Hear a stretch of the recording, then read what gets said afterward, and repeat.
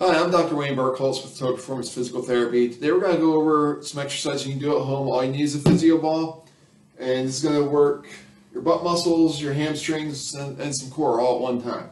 So you're going to start off with a basic bridge. So you're going to lay flat, knees bent, feet firmly on the floor, and you're just going to lift your butt up off the table and back down. You'll hold it for a couple seconds at the top, but just up and down, make sure nice solid hold. You want to try and get as close to a straight line as you can from your knees to your shoulders. All right, then to progress it, you're going to need a physio ball. Oh. So you're going to put your feet on top of the ball, legs straight. And same motion, you're just going to lift your butt up off the table, back down. So the core really comes in by keeping the ball from going side to side. All right, when you feel like that's getting pretty easy, now you're going to bend your knees. You're going to do the same thing, you're to have to get a little higher on these to get that straight line, but same concept.